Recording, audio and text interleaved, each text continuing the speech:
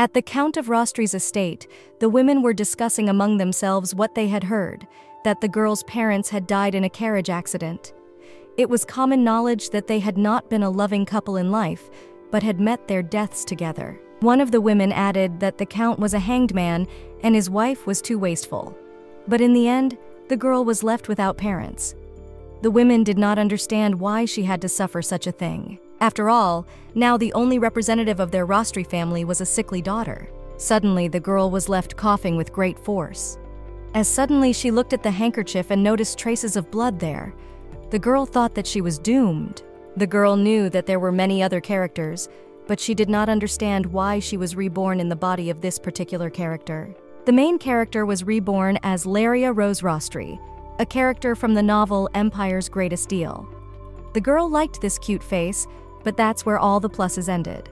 After all, she was destined to die at the age of 21. After a while, the girl was caught by a man who recognized that her parents had died without ever returning the money. The man was angry and assumed that there must have been something of value left here and told the others to search everything. The man didn't realize where all the relatives were if it was a funeral. The man then turned to the little girl and asked her where all the adults had gone. He also asked her to give him the money. The girl was very frightened. But still, she hoped that now there would be a man who would take her away. The man was very angry because the girl could not pay him. The girl knew that in the novella, Laria did not suspect that her days were numbered, in fact, only two people in the world knew about it. One of those people was her mother, the Countess of Rostri, and the other was the Duke of Carodin, Ivan Eckard, who had just at this moment walked into the room. The people immediately stirred and didn't understand what Duke Eckard had forgotten here. The girl looked at the man and noted that his gait, and even in a black cloak, looked very cool. Duke Eckard didn't really care only about his possessions, but when his wife died, he turned into a power hungry psychopath. In the original, he ran his behind the scenes games to take control of the imperial family. At first, he wielded a lot of power because of his belated interference in politics. Yet, after a few years, he became the leader of the aristocracy. He even managed to arrange the marriage of his son and an imperial princess. He thought he would achieve his goal by gaining the support of the aristocrats and the imperial family, but the protagonist, Princess Alani, ruined his plans by falling in love with the protagonist instead of his son.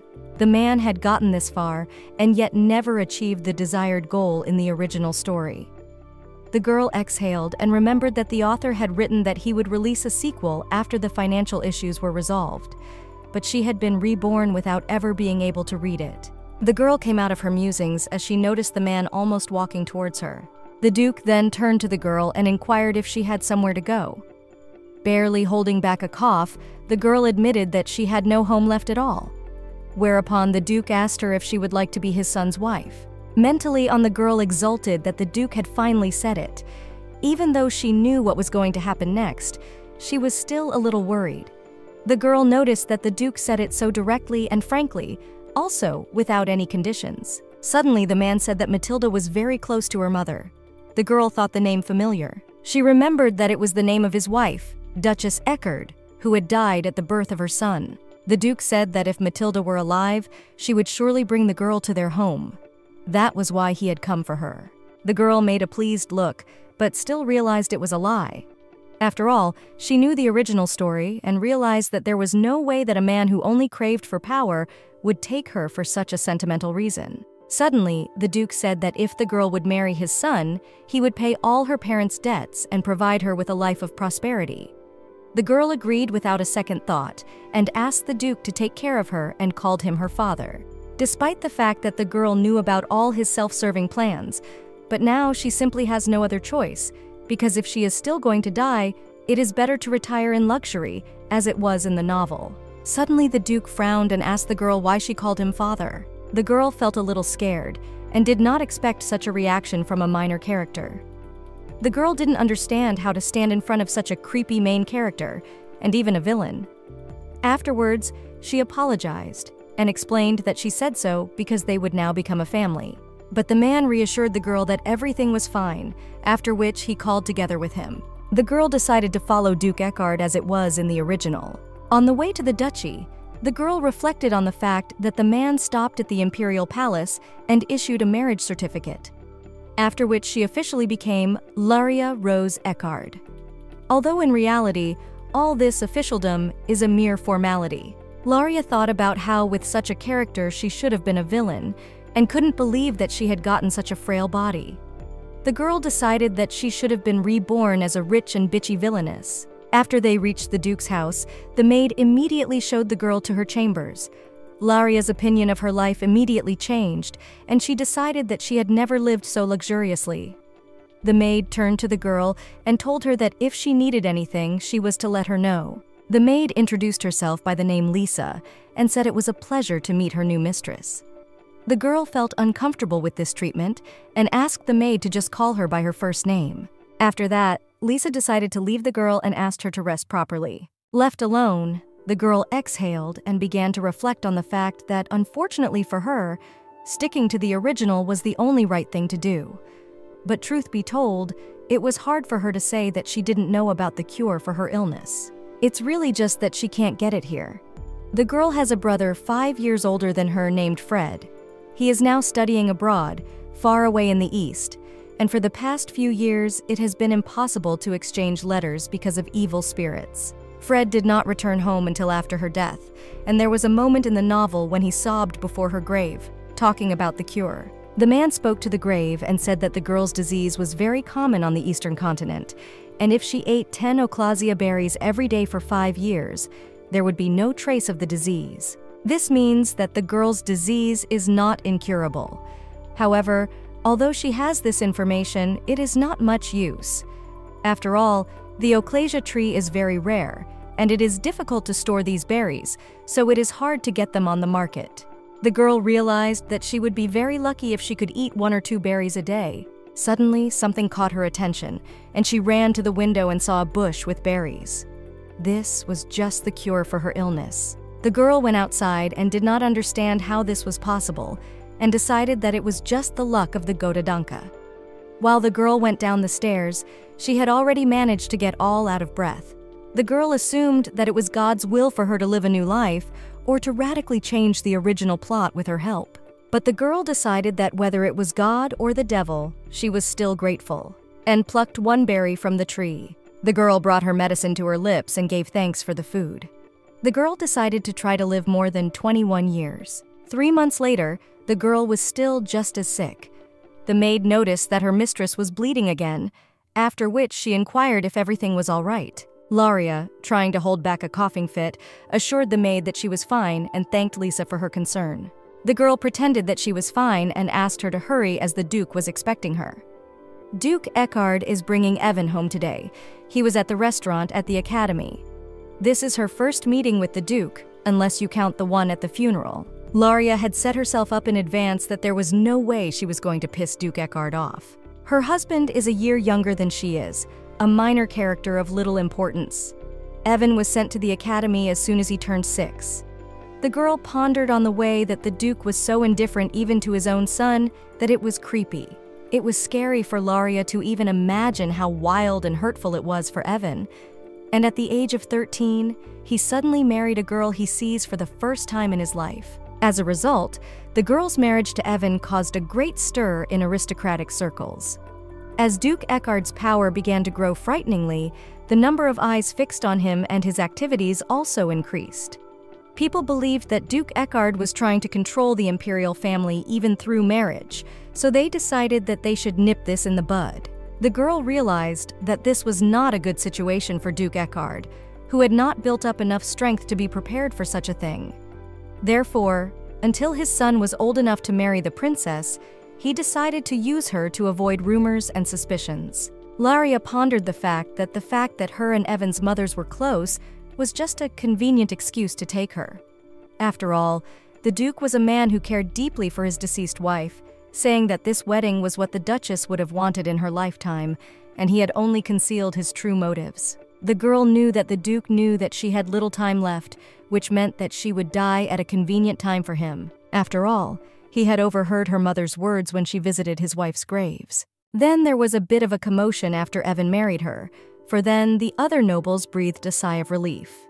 Taking advantage of the fact that they had let their guard down, the Duke had greatly strengthened his position. The girl pondered that in about seven years, the Duke would gain colossal power and would want to keep the imperial family on a leash, through the remarriage of his son Evan to the main character named Alani.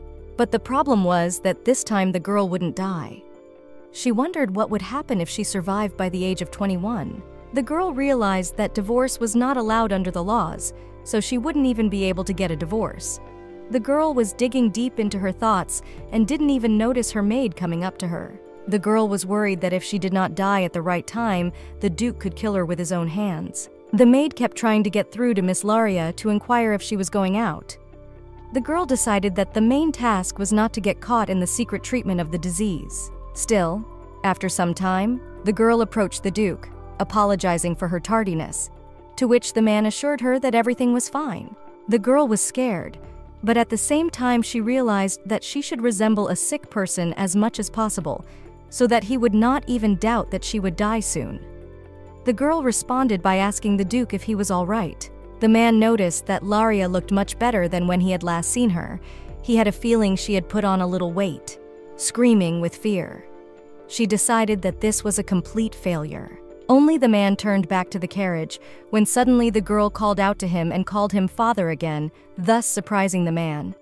The Duke asked the girl why she called him that again. Laria explained that if he suddenly didn't like the address, she would stop calling him that. At the man did not understand why that would be, after which the girl still gathered courage and asked the Duke if she could go with him. The man was slightly surprised by these words. After that, he asked why she should go with him. The girl understood that she just needed to show him how sick she was by demonstratively coughing. Well, naturally, she couldn't say that, so she lied that it was going to rain later, so she would be concerned that the Duke would catch a cold while riding. The men looked at the sky and realized that there was no smell of rain there because it was perfectly clear. The girl agreed that it did sound absurd and said that it would probably rain tomorrow.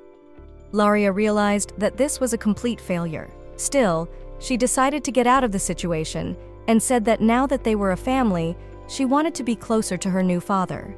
In response, the Duke frowned and the girl had already decided that this plan didn't work. But what was her surprise when the man offered her to sit with him in the carriage? Laria decided that this was a success, but still, she was a little scared to ride in the carriage alone with the villain. But the girl realized that it was better than if he noticed that she was getting better. On the way to their destination, they rode in pitch black silence. The girl noticed that the Duke continued to stare at her with that depressing expression on his face. Laria couldn't help but feel this psychological pressure. The girl came to her senses and decided that she needed to show him in time to show him that she was coughing up blood. For now, she just decided to chat with him about the first thing that came to her mind. So the girl pretended like she was excited to see Evan for the first time. Afterward, she asked Duke if Evan knew he was married, to which the man gave a negative answer. Mentally, the girl reproached the Duke for what a wonderful father he was, for not even telling his son that he was getting married. Laria understood that this is the destiny of the weak, namely to obey the strong. Potterjok uses his son as a pawn to gain unlimited power. The girl was sure that he would get rid of her once he realized that it was useless. Laria pretended to hope that Evan would like her at least a little. The girl admitted that she wished she could get along with him, to which the Duke inquired why she wanted it so badly.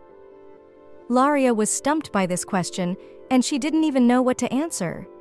The girl didn't understand why the Duke would care, but decided that it was worth flattering him a little. So she told the Duke that she was sure that he is all in his father, because the Duke is so handsome. The Duke replied with a smirk. The girl noticed that still really the corner of his mouth lifted. The girl decided that she was following in the right direction and decided to continue showering compliments. In this, she told the Duke that she wanted to live happily ever after with him and Evan. After that, she guessed the moment and started coughing very hard, causing drops of blood to form on her handkerchief. Mentally, the girl was jubilant that her plan had worked. The man was a little shocked at this picture. The girl noticed his reaction and purposely decided to make the most pitiful face. Suddenly, the Duke asked the girl why she said she wanted to live happily with him and Evan.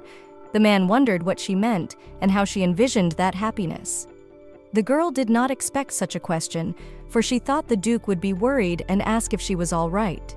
The girl thought about it and realized that she didn't say it out of politeness, but because she was scared. Laria began to ponder what is longer than happiness. He was told that it is when there is a joyful reason to celebrate, and when in difficult times they comfort each other. If there will be something funny, they laugh together and also take care of each other. The girl explained that such little things are happiness for her. The girl had no family in her previous life, and she had never talked to anyone about it. So the girl blurted out the first thing that came to her mind. But having said all that, she feels strange. Laria assumed it was because she really wanted it. The man listened to the girl and asked if there were similar little things in Rostri County. The girl hesitated and confessed that such a thing had never happened in her family. After all, her father, the Earl of Rostri, was a hustler and was rarely at home. And her older brother had been exiled to the eastern continent under the pretext of studying abroad just because he had crossed his father. Laria confessed to the Duke that they didn't live like that because her father was always away, so she wanted to live differently with her new family. The girl explained that when she had first met the Duke, she had wanted to impress him. Laria admitted that she didn't know what would have happened to her if it wasn't for him, and called the Duke her savior. After which she promised to do everything in her power. The man didn't answer anything, just took a handkerchief out of his pocket and handed it to the girl. Then he explained that she could not vomit on her already dirty handkerchief stained with blood again because it would be disgusting. The girl decided that the Duke thought that other people's blood was dirty, but she thanked her father anyway. Laria realized that there was nothing to be done, because then the best way to show the Duke that she was sick. So she agreed to use it and thanked her father. But the man did not understand why so much joy and gratitude, because it was just a handkerchief. And yet the girl was glad, for her father had never given her anything. The man was slightly surprised to hear this. Upon arrival, the girl got out of the carriage and began to look around. After that, she noticed the very academy for basic knowledge from which Evan was graduating. It was also smaller than the girl had imagined it to be. Laria thought about the fact that children from rich and powerful families were usually homeschooled. Suddenly, something caught the man's attention, whereupon he asked the coachman to linger, and also told him that when he returned to the manor, he should order a hundred handkerchiefs of the highest quality. The girl was a little surprised when she heard this. She figured it was because she was vomiting blood more and more often. Evan Reno Eckard was the only son of Duke Eckard. He is a very handsome guy, like his father. Growing up without his father's attention, Evan became a soulless doll. When his first wife died, he didn't shed a single tear. He didn't have a normal marriage even with the princesses his father found for him, because sooner or later they all began to openly cheat on him. The girl was aware of this, for she had read the original story. But Princess Eleni was a rather prominent person who drove a divorce law to divorce her husband. In the end, Eleni forced the villain to massacre the enemy and then escaped with the protagonist. The girl reflected that if she had known she would become a member of the Eckard family, she would have read the book much more carefully. Suddenly, she was taken out of her thoughts by the appearance of Evan. The girl looked at the young man, did not understand how this teenager can be Evan Reno Eckard, that the boy has an exact copy of his father. The young man's attention was drawn to the girl, and he asked his father who she was. The man explained without any explanation that his wife was standing in front of him. The girl was shocked when she heard this and didn't understand who would even accept this fact without explanation. But Evan calmly replied that he understood everything. The girl did not expect such a reaction at all, after which the young man approached his future wife. Laria did not expect that he was so tall because he was a year younger than her. The girl also noted that he was handsome, but did not give the impression of a good man, and also looked older than his age. The girl assured herself that there is no need to be sad, because they say that a person who looks older than his years in childhood will later look younger than his peers when he grows up. After which, she introduced herself with the name Laria Rose Rostri and also congratulated Evan on graduating from the academy. The young man was slightly surprised, but did not show it at all. Therefore, the girl decided that he was completely without emotion. Laria realized that, of course, she did not expect any emotions from a man who did not care whether his wife died or had an affair with someone. Suddenly, the Duke entered the conversation and said that he had received a letter from Evan's teacher two months ago, after which he asked his son why he fought with Viscount Gertie's son. The girl didn't expect at all that a young man like Evan was capable of fighting. The Duke then added that he had been bedridden for three whole weeks because of his injuries. Evan explained that he had lied to him because he had called him a friend and then cussed and slandered him behind his back. That's why he was hit and didn't want to be a friend to a man like that. The young man then confessed that he hated liars, and especially those who pretended to be his friend. The girl was surprised that Evan was upset, for she had made up her mind that he hated no one and did not care about the opinion of others. To which the Duke calmly accepted this information. Laria was surprised by this reaction, for his son is upset and he is not angry at all, after which the Duke added that a child who takes friendship lightly should be punished. The girl thought that she was really facing a first class villain. The Duke replied that he understood, but told his son and the girl to be friends nevertheless. The Duke told his son that she wanted them to get along and also wanted them to take care of each other. The girl didn't expect to hear that at all and didn't understand what her father was gushing about. At this time, Laria thought about the fact that if she did not try to get along with him now, she would not survive at all. After all, she was a person who hid her true thoughts and was also a person who took friendship lightly. She realized that if she ever got hit and was headed for at least three months, after which she decided that was unacceptable and offered Evan to get along, after which she approached the young man and told him that he had no idea how much she wanted to get to know him, after which she suggested that they grow up together and become a loving couple. The young man was a little surprised at this kind of pressure from the girl after which he still awkwardly agreed. When the acquaintance was over, the Duke told Laria and Evan to get into the carriage. Suddenly, the girl noticed that Evan's neck was slightly reddened at the back of his neck. The girl assumed it was a good sign, the young man was embarrassed. Upon arriving at the castle, the Duke turned to the girl and said it was getting late and told her to go to her room and rest. And I told him, well, I told him they needed to have a little talk. Laria turned around and started to walk away as she was suddenly attacked by coughing again. This did not go unnoticed by Evan. Hiding from the sight of the Duke and his son, the girl ran with all her legs to the fruit of Ochlasia. The girl remembered that she hadn't eaten them at all today. She also noticed that as soon as she started eating them, she felt much better. Laria realized that at this rate, she would be completely cured in five years. Still, she decided that this was the best place for her recovery. The girl ate and pondered on the fact that she had to make it through somehow, after which she decided to first outline a plan. Plan A was that she needed to somehow survive here, secretly save up a lot of money, and then take off, saying Arrivederci to the boys. Laria thought that was in theory a neat and safe but very long plan. Plan B was for her to stay with them after all. After all, it was better to live quietly and peacefully than to try to take over the imperial family. But if she didn't live up to their expectations, they would most likely hate her. The girl thought they would take away her liver or gallbladder. Even though she's in a family of murky types, when he offered to pay off all her debts at the funeral, he was like a savior. The girl thought it would be easier if she gave Duke Eckard what he wanted, but the problem is that she has no way of ferreting out his true motives, therefore decided that Plan B was too risky. Laria believed that if her charisma failed to change his mind, he would not forget his goals, and their lives would be in danger. The girl realized that this is a game of chance, the bet in which the bet is her life. Therefore, one must be careful. After that, she decided to follow Plan A and secretly save up money and make a furor. After all this thinking, the girl went back to her room, but she was pinned down by a stack of books on the table. The girl decided that now that her husband was here, they wanted her to study, because for a while she had just been idle. The girl opened one of the books, began to read. Suddenly, she thought about the fact that if her mom was here, she would read her fairy tales until she fell asleep.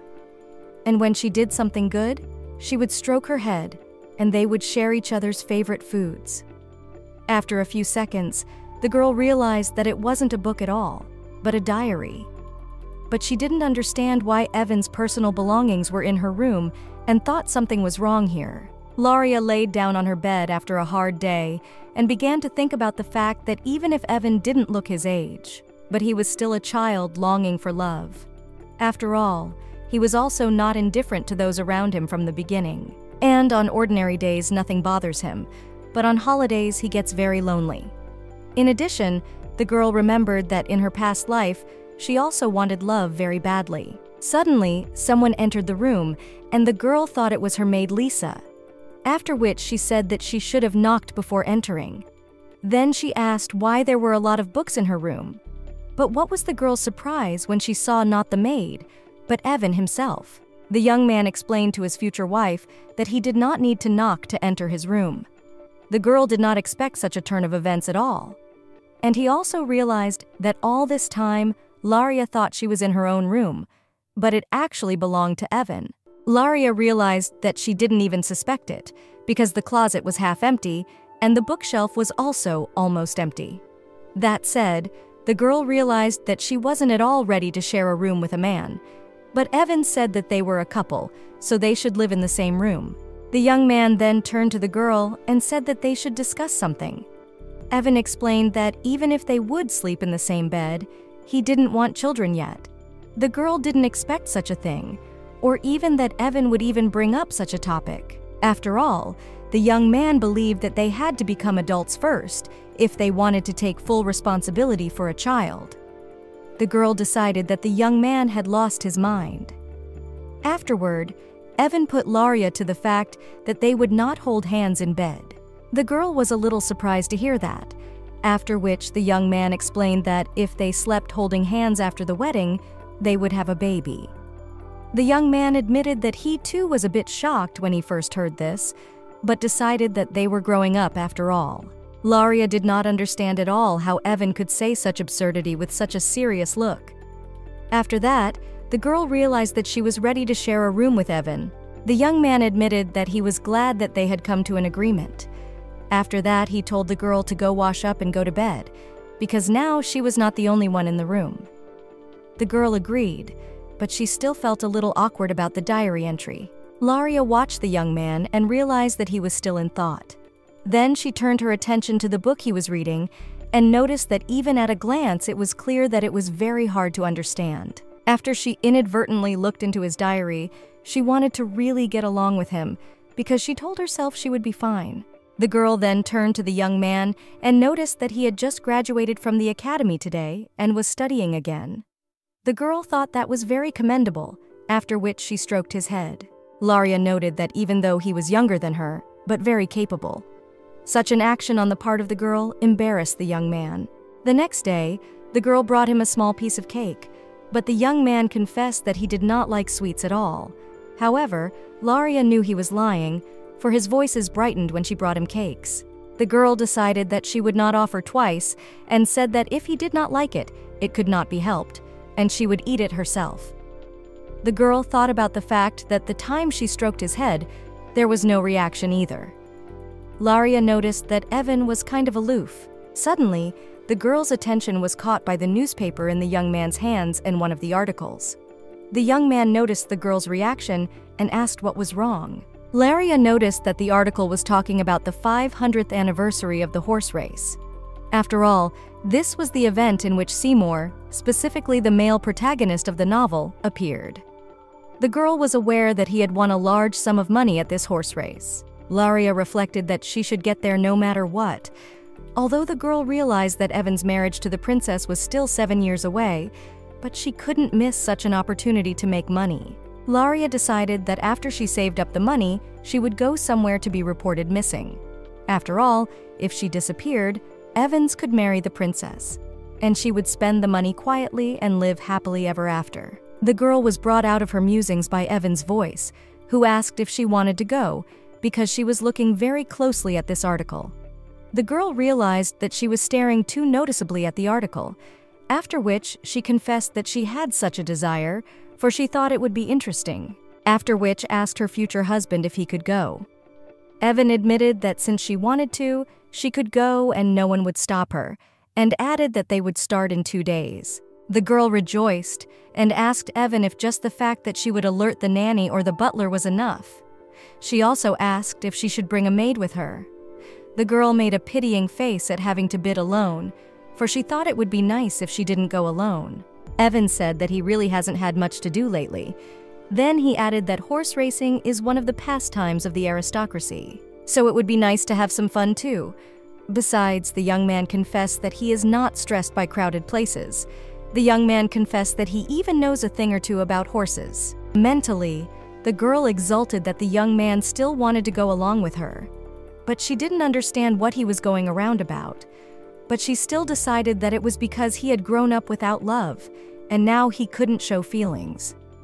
The girl realized that even if Evan went, she could still make money. After that, she directly asked the young man if he wanted to keep her company. The girl read the book and remembered how Evan had informed her that he had told the butler to prepare the carriage for departure on the appointed day, and also informing her that they should arrive on time. Since Evan would completely sort it out, she just had to wait. And having said that, the young man went to study in the library, and after all, he had only recently returned from the academy.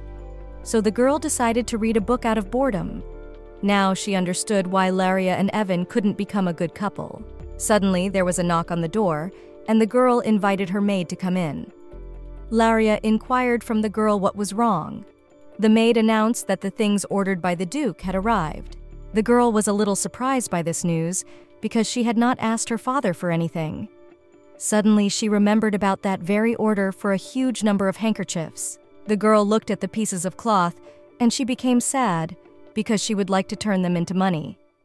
After all, their appearance only screams of big money. The girl realized that because of these handkerchiefs, she had to cough up blood, but still, she was still grateful to her father. After that, she decided to thank him somehow. After that, she turned to the maid Lisa and said that she wanted to thank her father, so she asked her to bring a card. At this time, the Duke was sitting in his study as suddenly Laria entered, after which he invited the girl to come in. Laria entered the room asked the Duke if Leon was busy, but the man gave an affirmative answer. The man explained that if he wanted to take a day off at such a busy time, it was necessary to deal with the accumulated documents in advance. The girl was a little surprised to hear about the day off, and she wondered where he was going. But after a while, she came to her senses, because the business of adults has nothing to do with her. So the girl decided to change the subject and said that she received the handkerchiefs he ordered her and also thanked the Duke. So the girl wanted to thank him, after which she held out a small card. The man took the leaf in his hands and inquired what it was. The girl explained that she had put all her soul into this card. The man began to read as suddenly something shocked him. The man was surprised to see that she had drawn three children there. The girl immediately explained that it was actually Duke, Evan, and her. She wanted to draw three little people who get along well with each other. Because the card was blank, the girl decided to draw a picture, but was upset because it was so ugly. The girl assumed that the Duke was now in a bad mood because of this. The girl apologized to the Duke. Suddenly, the man came to his senses and asked the girl if there was anything else she wanted to say to him. The man assumed that the girl was not herself and inquired what was wrong with her. Laria didn't expect such a question at all and couldn't believe that the Duke was seriously angry with her because of the drawing. The girl was so confused that she didn't even know what to say. After that, she apologized to the Duke and promised that she would not draw again. Suddenly, the Duke again drew attention to the drawing of the three of them and asked her if she would like to go on a picnic together, as she had recently suggested it. The Duke did not expect her to take her words so lightly. The girl was surprised and assumed that the Duke was taking the day off just because of that. The girl immediately began to explain that she had forgotten because she was dizzy and a little nauseous.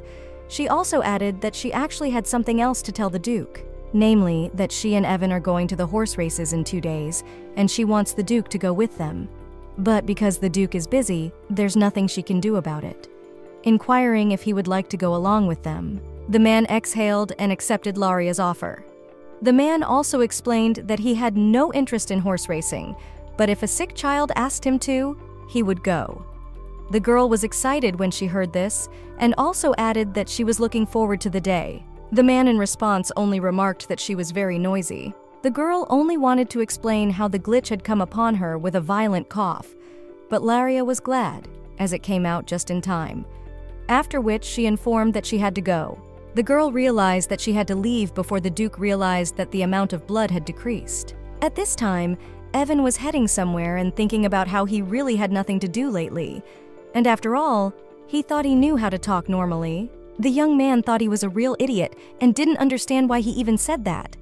He thought that he should have said that he wanted to go with her, and he only knew how to ride. But he's a total zero at betting. And he also worried that if the girl found out about it, she will be disappointed. Because he said that he cannot stand lies, but the only liar here is him. He was afraid that the girl would think he was a hypocrite and a liar, and would say that she didn't want to talk to him anymore. But Evan hoped that it would not come to that, and then he went into one of the rooms. The young man decided that the only way out was to turn lies into truth. After that, he began to study books, because there are written the basic knowledge about horse racing, the history of horse racing and breeds of horses, as well as understanding of horses and hippology. The young man decided that he must learn all this in two days, whereupon he opened one of the books and began to read. On the appointed day, the young man realized that because of reading at night, he had not slept a wink, so he was very sleepy the whole way. But he was distracted from his sleep by a girl who informed him that they had arrived at the hippodrome. Then she took the young man by the hand and whispered in his ear that he should not worry, because no matter how many times they held hands, they would not have children. After hearing this, the young man's face became flushed, for he was uncomfortable because she was too close to him. Stepping out of the carriage, the family began to explore the racetrack. Evan drew the girl's attention to Arobos's horse and noted that he looked wonderful. The young man said that he had heard that his legs were longer and stronger than the other horses. After that, he began to talk about horses again. The Duke was a little surprised that his son had only knowledge on the subject and asked if he had studied horses at the academy. The girl thought about it and remembered that the original story didn't mention Evan's love of horses, but now it was obvious how much he adored them.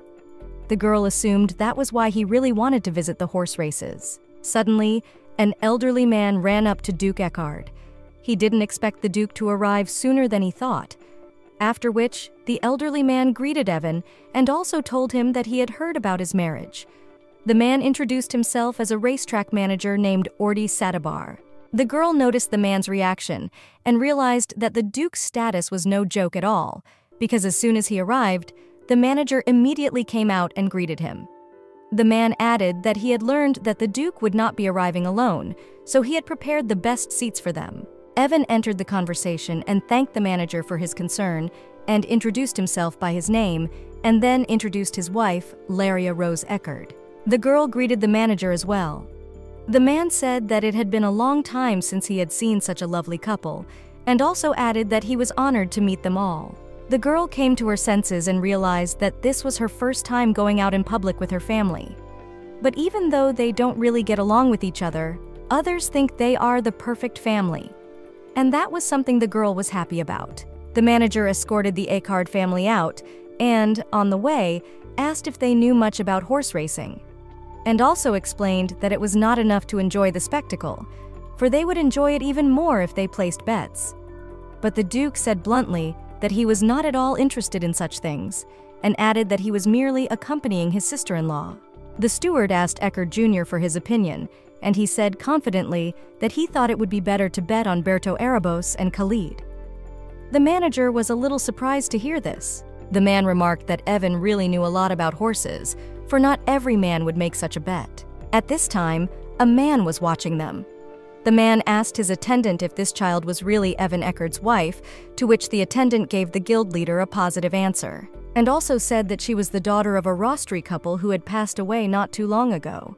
The man thought this was strange. The guild head thought about the fact that the count and his wife had passed away in an accident and left their daughter with nothing.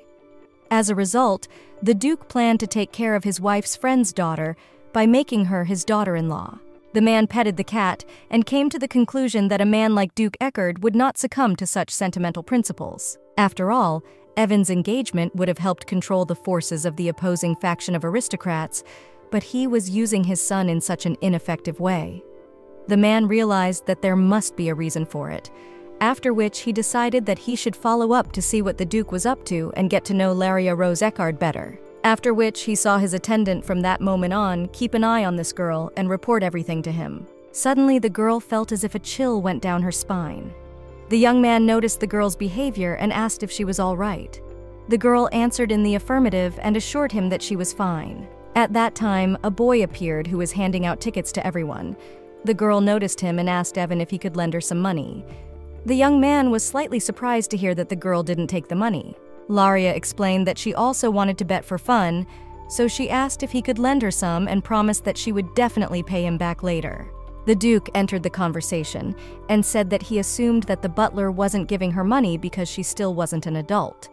Laria couldn't disagree with that.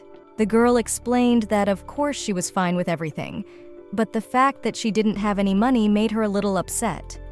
The man then took out a gold coin from his pocket and gave it to the girl. Laria was surprised that the Duke gave her such a large amount of money, but the man didn't think it was very much, and also added that the coin was payment for her drawing on the card. The girl was glad when she heard this, for she thought that the Duke liked her drawing after all, and then she thanked him. Evan entered the conversation and promised his wife to speak to the butler about allocating pocket money for her.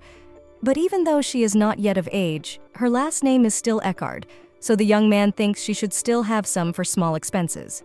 The man turned to the girl and said that if she needed money, she would just have to draw something. Laria realized that this meant that the Duke would pay her for the scribbles she drew. After a while, a boy approached them and held out the tickets, asking if they would like to place a bet.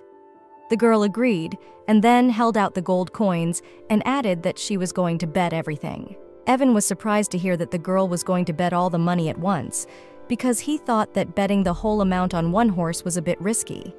The girl understood that, but she still wanted to do exactly that. The Duke also pointed out that the girl was careless when spending other people's money. The girl was a little upset when she heard that, but still didn't let it show, hoping that the Duke was joking. Mentally, the girl agreed with her father, but decided to bet that she would snap up a huge score. After that, the race began. Laria remembered that the protagonist of the novel called The Greatest Deal of the Empire just loves money, and also his name is Seymour Gold Letitia. He had a lot of money, but he was not a nobleman by birth. The man buried himself in work, trying to transform himself from a commoner to a nobleman, and the first place he earned his money was the racetrack. Mentally, the girl apologized to Seymour and informed him that he would now have to share with her. Just as suddenly, the girl was brought out of her musing by Evan's voice, who wanted her to pay attention to something. It ended up being that the horse she had bet on came in first. The rest of the people present were shocked, the black horse didn't even have any experience. Many were surprised that anyone had bet on it at all. They then announced the amount of the winnings as 68,000.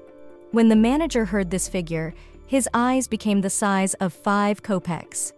The man explained that this was the first time anyone had ever won such a large amount of money. The man also added that even though it was an unexpected turn of events, but there were two people who bet on this horse. The Duke was slightly surprised to hear this and inquired who the second person was. The manager told him that it was a simple guy who was only 18 years old. The girl realized that the reference was to Seymour. She suggested that perhaps he was uncomfortable sharing the prize money. The girl thought she was a real rascal. The manager said that all the newspapers would probably write about such an event tomorrow and suggested that the girl's name and picture would appear in the headlines. The manager explained that since it was a very impressive sum, he would write her a check for 34 gold pieces. The girl asked the manager to wait and whispered something in his ear. The man agreed and handed the girl an envelope in return, and she thanked him. The girl then returned to her family, and Evan asked her what had happened. After that, satisfied, Laria handed her father a gold coin, and also said that it was all thanks to him. The girl thanked the Duke for the lucky gold coin and told him that she was returning it and hoped that he would be lucky too. Hearing this, a small smirk played on the man's face. The girl was sure she hadn't imagined it at all, and the Duke did indeed smile. The manager noticed that the lady was not only bright, but also very caring. The man also heard that the Duke had accepted her as his daughter in law. The man explained that her mother and his wife were very friendly the steward noted that it must not have been easy to marry these children. Still, he thought it was very honorable, and noted that the Duke was different. Laria watched the whole thing and noticed how the steward casually flattered the Duke, and also noted that his skills were really quite good. But it wasn't strange, since he is the manager of the racetrack. Suddenly, the manager turned to the girl and asked if she was already used to her new family. Laria tuned into the conversation, for the manager is not the only one who knows how to chirp sweetly. After that, she assured the man that everything in her life is great now. The girl confessed that she is very proud to be here with the Eckards. To be honest, the girl said that she was more happy to be part of Duke Eckard's family than she was to have won. In response, the man said that if he were Laria, he would be her opinion too, for Duke Eckard is the best. The manager also said that the Duke has a great sense of humor, so they will definitely live soul to soul. The girl was slightly surprised when the man said about the sense of humor and decided that it was too far from the truth. As suddenly, the Duke himself admitted that he never jokes with his loved ones. The manager got worried and decided to turn the topic to everyone having private time and asked the Duke why not show his sense of humor. Whereupon the Duke said that to have a good joke, you have to stomp around rather than talk. Actually, the Duke meant try. He just decided to use a pun that unfortunately no one understood. Laria wondered, no longer quite sure what was going on here at all. Suddenly, the silence stopped after the manager broke into a huge laughter. The girl realized that she had lost and she shouldn't have been so confident. Evan entered the conversation and said that jokes are jokes, but such teasing is not acceptable in the manner. The girl didn't understand why, for she thought it was very funny. The girl asked her father to make jokes like that more often. Only the girl wanted to say the next sentence, as suddenly felt that she was about to cough. Laria was worried, because if the rumor spreads that she is sick, then everything will be very deplorable, so she decided that she cannot cough now. Then she covered her mouth with a handkerchief and ran away. When the girl arrived home, and she was immediately met by the maid Lisa, who had heard that her miss had won a huge sum.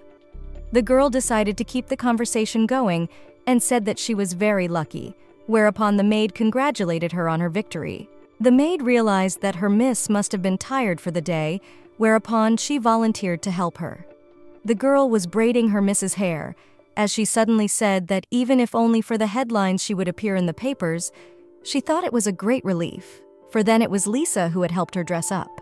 Laria said that Evan was wearing a red tie, so everyone said that red suited her, and everyone thought that they were a cute young couple.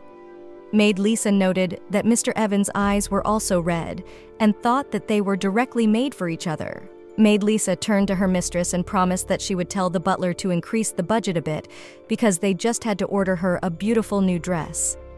Laria thought that Lisa was really pretty and very elegant, and also skilled in many things. The girl had heard people say that she had been working in the Duke's mansion since she was a child.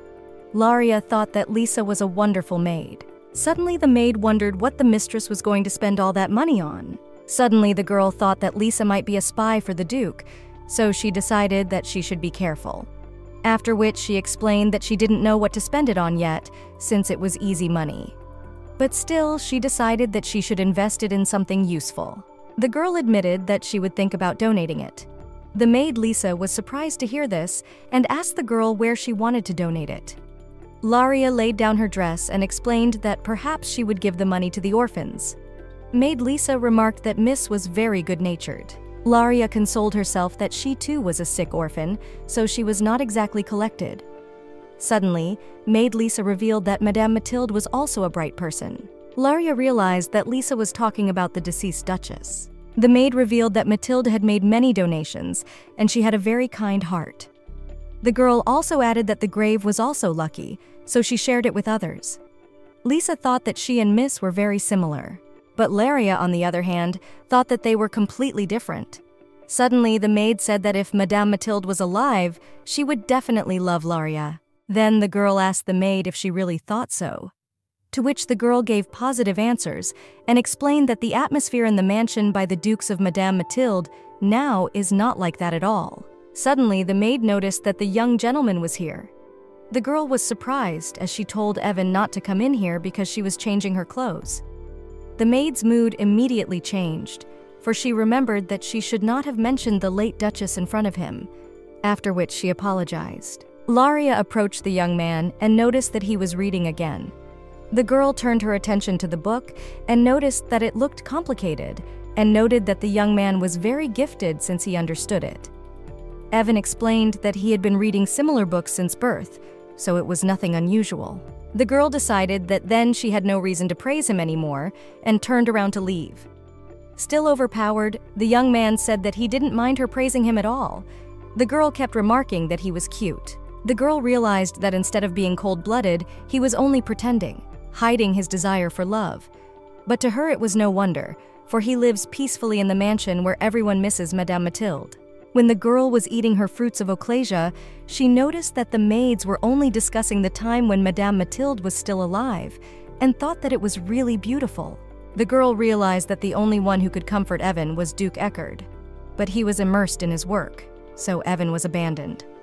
To this, the girl could understand him.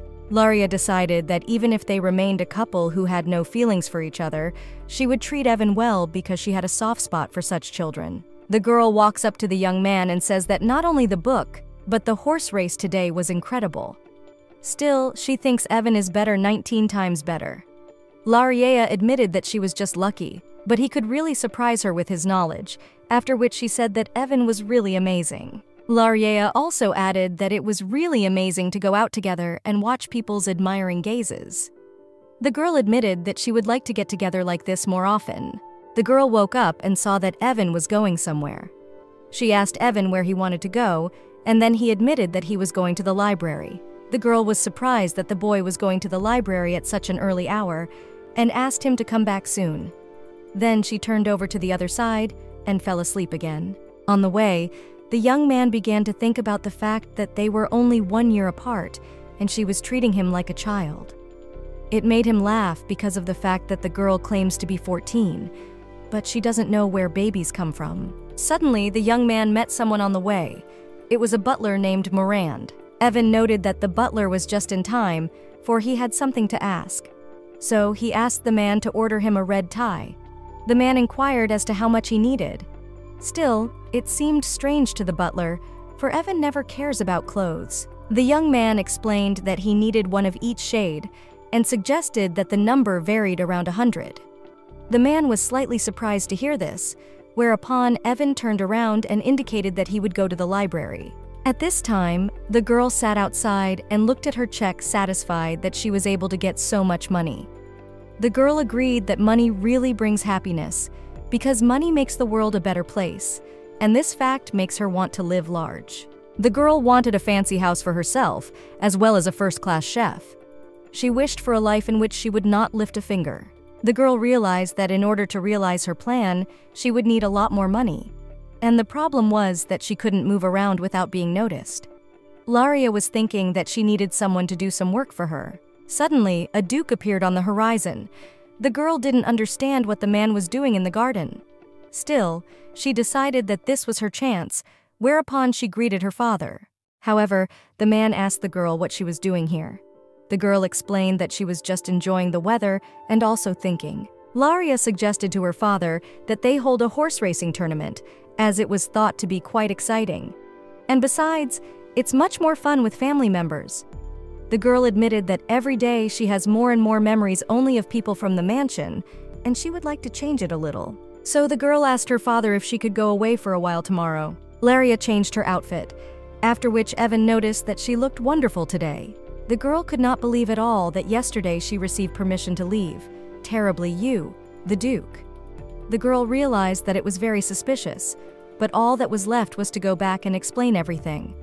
Laria confessed, I would, well, that something very good happened. After which, the girl inquired if Evans was going to the new library today. After which, the young man gave a negative answer and explained that he was going to a meeting with the commander of the Knights and added that he would start training from tomorrow. The girl hadn't expected Evan to start training so early, but the young man admitted that he actually really liked swords. Laria was mentally shocked because this indifferent boy said that he liked something. So the girl assumed that he really did like them. Laria pointed out that Evan should pick his clothes properly then. The young boy didn't really understand what the girl meant, so she explained that he should wear more modest clothes after which she held out a rack with a vest. Laria realized that it was very easy to be nice to Evan because she had seen the young man's diary before, and it was like looking in the ready homework and solving the problem. The girl thought that the choice of clothes for the important event was also very important. She paid attention to the confused expression on Evan's face and realized that it explained everything. The girl mentally noted that the young man was really cute. Suddenly, the lady was called by the maid Lisa. The girl said goodbye to Evan, after which she went to her maid. In response, the young man asked the girl to keep herself safe. Upon arrival in the city, the girl walked through the streets and noted that one of the dresses looked very pretty, after which she asked her maid Lisa for her opinion. The girl agreed that the dress was indeed very pretty. Lisa went with the girl as an assistant and attendant, as well as two night guards. The maid asked the lady if she was going to buy this dress. The girl hesitated and decided that she was not going to get it. For two hours, she had been walking through different stores and noted that the maid and the knights must be bored and tired by now. After which, she suggested going to one more place, after which, she indicated that she would like to go to a candy store. The girl confessed that Evan really liked sweets, so she wanted to buy something for him. The maid and the knights were completely shocked when they heard this, and also noticed that there was a huge line lined up outside the candy store. Maid Lisa explained that there were a lot of people waiting there, so they would have to wait in line for an hour. After that, she offered to tell the staff that the girl was from the Duke of Eckard's family, because then they could get what they wanted without waiting. But the girl realized that if they do not stand in line, people will start to insult them. And the girl did not want to spoil the reputation of the Duke because of such a trifle. Laria realized that it would take some time, but decided that it was better to get in line to buy what she wanted since one dessert per person was given. Everyone should get a piece. The girl wanted to say that the ganache here is very tasty, but suddenly she was overcome by coughing again. The maid Lisa immediately became alarmed and began to try to help Lady Laria. The girl coughed and trusted the maid, thinking she was fine, then decided that she would go to the restroom. Maid Lisa volunteered to go along with the lady, but the girl insisted that even if she couldn't take it, they were sure to get at least three ganaches. Laria also realized that if Evan saw that there were only a few of them, he would definitely refuse the sweetness. So the girl decided that she should buy three so that the three of them could have a tea party. If at least one fails to buy the cake, the tea party will be disrupted because of that person. Afterward, the girl asked the maid if she really still wanted to go along with her. Only the maid wanted to object to something, as the girl immediately began to insist that if the tea party will be disrupted, the family, which had only improved relations after a joint trip to the races, will be destroyed because human relationships are very fragile things. Maid Lisa thought for a moment, after which the girl added that as a result, they would gradually drift apart and there would be no successors, and Duke Eckard's clan would suffer, fading into oblivion. The girl wondered what would happen if she couldn't buy the ganache because Maid Lisa would briefly escort her to the restroom. The maid looked over with the knights and asked the mistress if she would be back soon. The girl answered in the affirmative and explained that she would be waiting at the entrance after her visit to the restroom, then headed for the ladies' room. The girl was glad that the plan had succeeded her easily. After which, she began to look for one of the stores. Laria looked around to notice a dark cafe without a sign, which had only a statue of a disgusting horse on it. Suddenly, the girl spotted what she was looking for. The girl pushed open the door and entered the premises, as she was immediately greeted by an unpleasant man. Laria said that she was in search of Light of Bastion. The girl then held out a photo and asked the man to tell the man that she was in the picture. The girl put the man on notice that she wanted to meet him immediately. At this time, the young boy was already present at the training session, after which the man approached him and greeted him. The man introduced himself with the name Ludwig Dicardio and added that he was the commander of the Knights of the Eckard family. But the young man already knew this, after which he informed him that he was glad to meet him. The man also knew about Evan, for he had won first place in the youth fencing competition. But that was no surprise from the heir of the Eckard family. The man warned the young man that he should put in a lot of effort in the future. The young man realized that as the heir of the ducal family, effort was a common thing for him, so it was not appropriate for the knight commander to be so rude. The young man decided that he should put him in his place. Only the young man wanted to say something when suddenly the man said that the Duchess died because of him. The man said that before he was born, Duke Eckard's residence was a bright and warm place. However, after the Duchess gave birth to Evan, she died due to poor health, and then the Duke became unhappy. The man approached the young man and said that if only Matilda was alive, it would all be different. So the man decided that the young man had no right to happiness at all, for he was the one who had made the Duke know loneliness. The young man thought about the fact that actually, when Laria picked out clothes for him, he felt a little better. After all, his father picked out his own clothes every day and always ate breakfast alone. The man said that fortunately there was nothing better than fencing, as it was a distraction and a way to train the body, so he told the young man that from tomorrow they would come here after breakfast and train until the evening. The young man only replied that he understood. The man also warned Evan that he must work hard to hone his skills and become the pride of the Duke. That is all he should be doing. He then placed his hand on the young man's shoulder and asked him if he wanted to atone for his mother's death. The man approached the young man and told him that he would spend his life in the shadow of the Duke. The man really wanted Evan to be as miserable as the Duke. The girl entered the store and was surprised that the counter was such a large room. The man put the girl up that the man she was looking for was waiting for her upstairs. Whereupon she began to climb the stairs and finally met him. In front of the girl of the city sat the head of the Dark Guild under the name of Bastion that has any information. The man was glad to see the girl and said that he had heard that she knew his real name. The man, out of decency, wanted to introduce himself as suddenly a cat jumped into the girl's lap. The man was rather surprised. The girl informed him that she didn't have much time, so she would be brief. The girl held out her winning coupon and asked him to leave her 10 gold pieces and to dispose of the rest at his discretion. But it would be necessary to fulfill three of her conditions. The man listened attentively to the girl. Laria said that first, she would like to buy a title, and secondly, she needed an estate. The girl remembered that originally the main character's winnings had already been divided, so she planned to follow her actions in the novel. After that, the girl clarified that she needed to do everything very quietly. After all, Duke Eckard must never find out about it. The man thought about the title and said that the young lady was still too young. The girl was not surprised, because, as expected, the Information Guild he already knows her age. Then it occurred to the girl to create a new identity with fictitious data. Laria explained that she wanted the mansion to be located in Hanyu. She also explained that she didn't have enough money to buy the whole Earth, so she asked to just buy half of it. The man explained that it was a relatively cheap area because it was far away from the capital and had no advantages, but it was almost all sold out. The girl realized that since Hugh had huge reserves of iron ore, land prices would increase manifold once the deposits were discovered. Seymour could only get half the amount because of her, so she wouldn't be able to buy the entire land. Therefore, the girl wouldn't even be able to buy a normal title, so she decided that she would start as a baron. Mentally, the girl apologized to Seymour and said that if he is a real protagonist, he will be able to overcome this challenge. The girl was brought out of her musings by the voice of the guild leader. Laria realized that she had gone too far into the role of a villain, not noticing anything around her.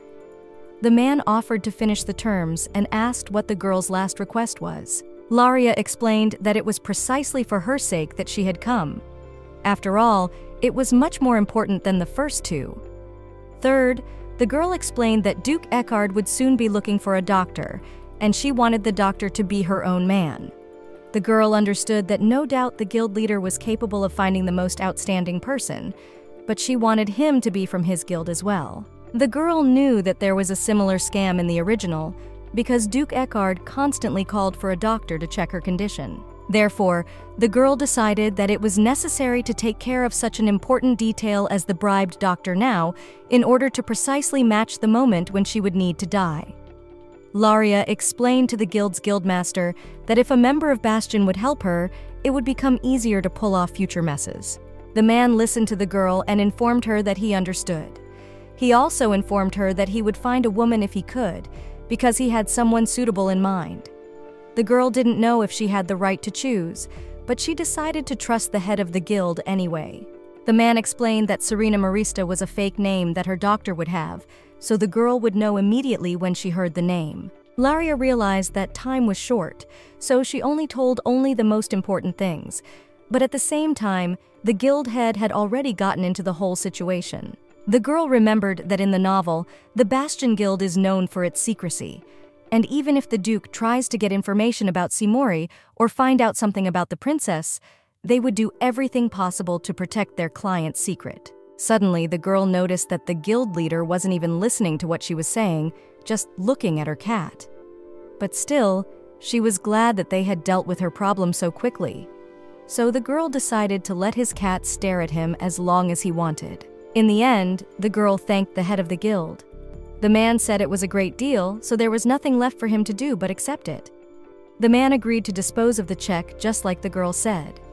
Afterward, the man held out a coupon for a table of gold pieces. Laria was surprised, for she had asked to keep only 10. The man explained that the rest of the amount was payment for their future transaction.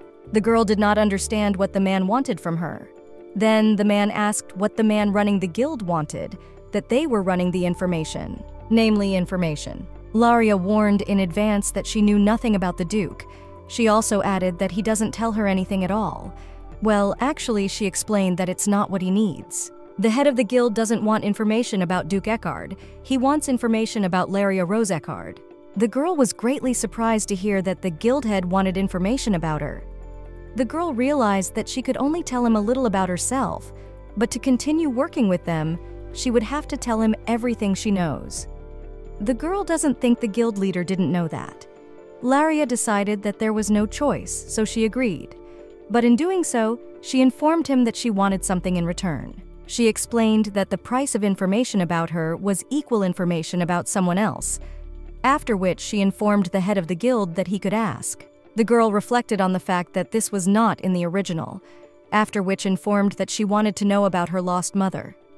Duke Eckard only told part of the story, but she doesn't know the rest.